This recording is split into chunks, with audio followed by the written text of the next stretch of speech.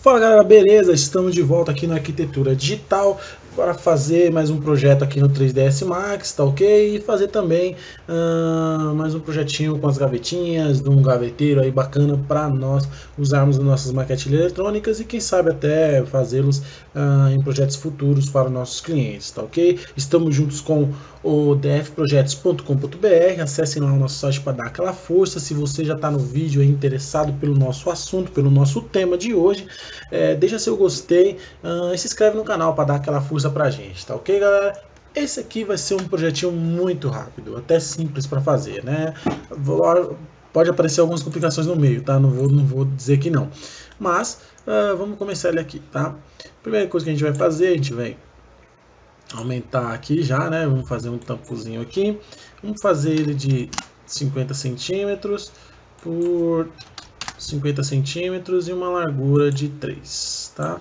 De 3, beleza. Então aqui a gente já tem a espessura do nosso, do nosso gaveteirozinho, tá? Só que aqui a gente vai ter que preparar algum, algumas peças do nosso projeto para ele ficar um pouco mais bacana, né? Em alguns sentidos, né? Vamos selecionar ele aqui, ó. E já vamos dar um loop. Ah, não, vamos dar um... Tá, ele não vai. Tudo bem, não vai. A gente vai segurar o Ctrl aqui, ó. E vai selecionar as edges laterais. E vamos, vamos aqui, ó, na ferramenta Chamfer, tá? E vamos diminuir o Chamfer aqui para 0,5, tá? E vamos aumentar aqui as edges lá no meio desse Chamfer, ó, vai ficar mais ou menos assim, tá? E dá um OK. Agora você vai fazer a mesma coisa no de baixo, segurando o Ctrl, segura o Alt para girar, ó, e aí você vem com ele aqui, segurando aqui, ó, beleza? Ó, vamos lá, segurando o Ctrl, e aí, ó, ele pegou tudo. Agora ele vai vir com o chamfer, e você já pode dar OK, porque ele memorizou o último chamfer, chamfer, chamfer que você fez. Nossa, quase que não sai, tá? Então essa aqui vai ser a base do nosso projeto, tá? Então aqui, ó, a gente vai pegar o gizmos aqui lateral e ele tá nessa em Z aqui, ele tá a é, zero, né? Então a gente vai vir aqui, vai habilitar aqui, peraí, não, tirei aqui, Vamos... Opa, tá, desculpa. Vamos desselecionar aqui, pronto, agora ele vai habilitar lá. Agora sim, agora aqui nós vamos subir, uh, vamos fazer ele com 70 centímetros de altura. 70, pronto. E aí você tem a altura do seu gaveteirozinho já pronta aqui, tá? Vamos criar uma outra box, tá? Dessa vez essa box vai ser as alturas do nosso projeto, tá? Vamos lá aqui, ó, criar uma box fininha para cá. Tá? E vamos fazer essa box, uh, primeiramente, deixa eu só ver, tá? primeiramente vamos fazer ela com 3 de espessura, tá? Vamos só ver aqui onde ela aumenta, então aqui ela está com 50, uh, vamos deixar um centímetro para cada lado, 2 centímetros, um centímetro para cada lado, então vai ficar com 48, tá? E a altura que a gente subiu foi 80 centímetros, não foi isso? Exatamente, vamos dar uma olhada aqui, não, não foi 80 centímetros, foi 60 centímetros, né?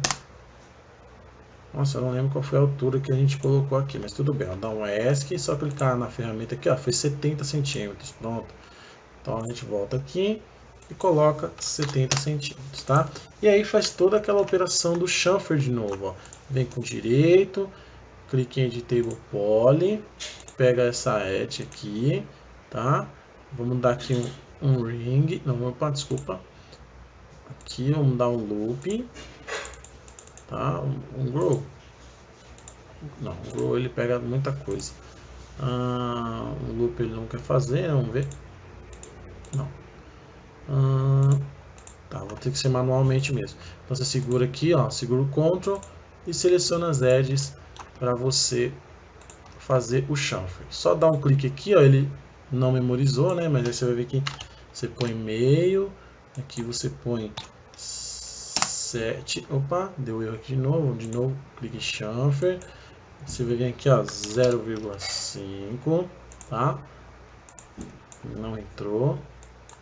0,5 tá, de chanfer. E aqui a gente tinha colocado no outro 7, não foi? A gente coloca 7, ele já entra automaticamente. Pode até aproximar para dar uma olhada como ficou. Vamos ver aqui. Eu acho que... Opa! Dá um ZA aqui para ele posicionar. eu acho que ele deu um erro aqui, ó, que ele deu dois chanfer no lugar só. Vamos zerar aqui. Dá um Ctrl Z, ó, vai dando um Ctrl Z, vou dar até um ESC para ele sair de tudo. Ctrl Z, pronto. Acho que ele já está Beleza, posso dar um voltar aqui, ele está selecionado. Agora sim, vamos lá, chanfer. Vamos dar aqui 0,5, tá? Ele já vai dar o chanfer ali e aqui eu vou pôr um 7, tá? Aqui de novo, 1.7. Beleza, já deu a, o chanfer que a gente quer, ó. Já ficou o chanfer ali já ficou ok. Agora tem que fazer a mesma coisa aqui deste lado, ó. Segura o conto, né? Seleciona as edges, tá? E dá um chanfer. E aí dá um ok aqui, pronto. Já ficou todo no chanfer correto. Vem na vista top, coloca aqui em wireframe, né? E aí a gente vai, opa, um ESC, sai da ferramenta aqui e vai ficar mais ou menos assim, né? E joga um pouco para cá.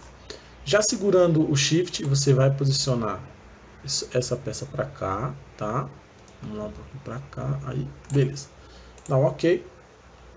E aí, segurando o Shift de novo, você joga ela aqui para o meio, tá? Solta, dá um OK. Com a ferramenta de ângulo aqui, você vai dar o giro, pronto.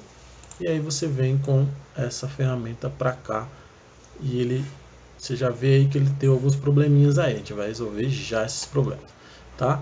Vai segurar a ferramenta aqui de, de ponto e vai jogar para dentro da madeira esse projeto, tá? Esse desenho aqui, beleza?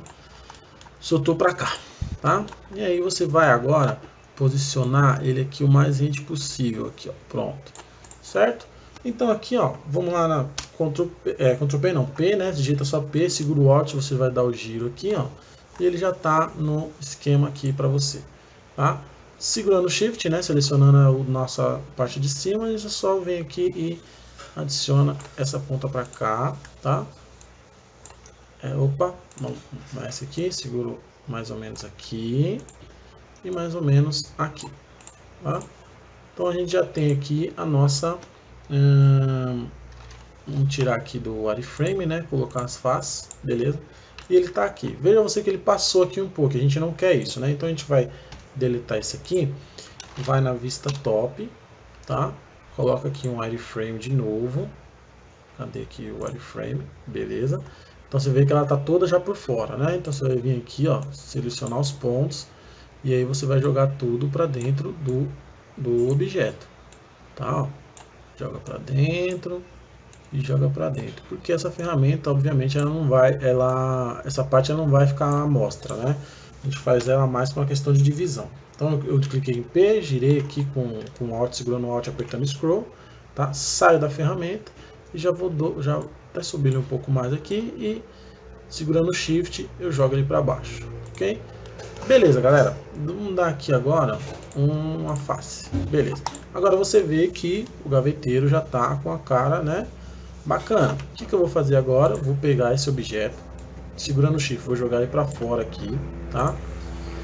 Vou pegar o giro, um helicóptero passando para ajudar, né? Com a ferramenta de ângulo virada aqui, ou selecionado, vou girar 90. Vou na vista front, né? E vou na vista left, que na verdade a minha front ficou como left aqui, mas aí vocês vê qual, vocês dão, deem uma olhada em qual que vai ficar. Então aí eu vou pegar aqui, ó, e vou selecionar essa ferramenta, e ela já está na altura até boa aqui, ó. Eu vou pegar essa, selecionar aqui e vou fazer a minha a minha gavetinha aqui, ó. Vou clicar aqui para ele virar para a vista left, sair da ferramenta, né? Vou pedir para ele alinhar o, o o pivô aqui que está um pouco fora, ó, você vai vir nessa opção, vai, a center pivô, center do objeto. Aí só voltar, ele já ficou no centro, tá? Vou jogar um pouquinho para dentro aqui, ó, você viu que ele passou ali, eu posso até vir aqui fazer o ajuste, ó, tá? Eu quero realmente que ele fique um pouquinho para fora. Sai da ferramenta, eu vou jogar ele um pouquinho para fora aqui, ó. Beleza, certo? Agora vou voltar na vista left, né, que ficou com minha vista front, ele vai estar tá aqui, ó, objeto, segurar o shift, arrastar para baixo para ele copiar, né? Vou jogar ele mais ou menos aqui, vou aproximar para ver o que está acontecendo ali, ó, veja que ele está um pouco fora, né? E vou jogar ele aqui, ó. E aqui também encontrei um outro problema. Vou dar até um Ctrl Z para resolver já esse problema aqui. Ó. Um Ctrl Z, Ctrl Z, Ctrl Z. Beleza, já está aqui selecionado. Ó. Veja que as laterais, né? A gente não fez, arrumou as laterais aqui. Ó. Vou jogar um pouco para cá. Um pouco para cá. É bom que tem essas faces que ficam um pouco separadinhas assim, no caso das gavetas, porque elas dão aquele tom de realismo, né? Ó. Então aqui eu vou posicionar mais ou menos aqui. Tá? Vamos dar um OK. Girar. Opa, girar não. Uh, left de novo, por cima. Segurar os pontinhos aqui, né? Ó, e arrastar aqui para baixo, deixar o mais próximo aqui. Tá? E a gente vai dar. Segurar o Shift, arrastar um pouco para cima, dar um OK, tá? E aí a gente joga ele aqui, mais ou menos aqui para cá. Aí, beleza. E aí você viu que aqui embaixo ó, ele fechou um pouco. Vamos já jogar ele um pouco para cima aqui, para dar menos problema. Beleza. Agora eu vou digitar P, tá? Você vê que o gaveteiro ele já ficou já com a carinha dele aqui bacana, ó, certo? Agora vamos fazer aqui um... Já estamos com 11 minutos de vídeo. Vamos só fazer um, um, uma boxzinha aqui para gerar um, um quadradinho bem simples aqui, né? Ele está com 42, vamos fazer ele com com 20, tá? Vou colocar 3 por 3, tá? Pronto, tá aqui. Vamos na vista left, clica aqui dentro, né? Vista left. Aliás, vamos girar ele aqui, pronto. Agora eu vir com a minha, com o meu gizmo aqui, né? E vou arrastar ele aqui, vou só colocar aqui dentro, só para dar a impressão de puxador, tá? E aí vou segurar o shift, vou arrastar, ah, deixar ele mais ou menos aqui. Né? Tá, beleza. vou segurar o Shift e arrastar ele mais ou menos aqui. Beleza? Dá um OK. Vou clicar em P. Ele ficou bem para lateral, né? Vamos para left aqui, né? Não tinha visto. Posso vir selecionar tudo e arrastar ele para o meio aqui, ó. Pronto. Tá? Vai ficar mais ou menos assim, beleza? Tá feito aqui, galera, o nosso aparador no 3ds Max. Vou agora selecionar todos os objetos, tá? Vou entrar aqui vou mudar a cor para ele ficar cinzinha, para ficar mais bacana, né? Então tá aqui, galera, nosso gaveteiro para o 3ds Max, você pode usar numa numa maquete eletrônica de, de, de, escritório, até de uma sala, de um quarto. Você pode até usar ele como criado mudo, ou da melhor forma que você achar melhor. Ou então você pode projetar ele aí para os seus, uh, seus clientes darem uma olhada. É um produto que você pode até vender sem problema. Tá ok? Eu vou ficando por aqui, galera. Qualquer dúvida, comentem. Deixem seu gostei para ajudar a gente a continuar fazendo esses vídeos bacanas, tá? Uh, se inscreva no canal, claro, sempre é bom, né? Vocês terem, vocês ficarem aí todos os dias que a gente postar vídeo, vocês já, já, já assistirem, verem as novidades do canal, tá? Eu vou ficando por aqui, galera. Valeu, falou, até mais!